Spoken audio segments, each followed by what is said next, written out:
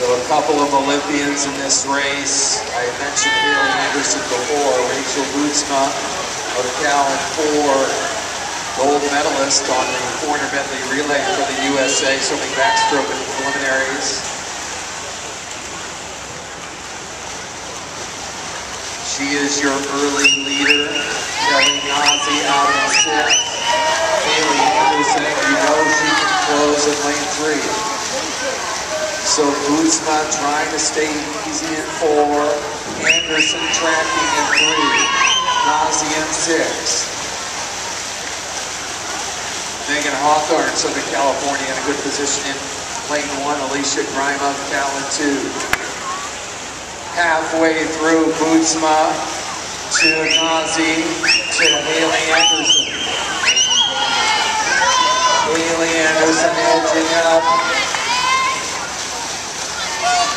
Bootsma to Anderson.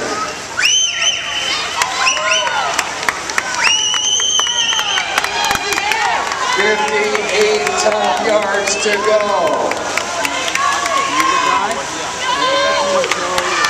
Bootsma and Anderson, Naze and six.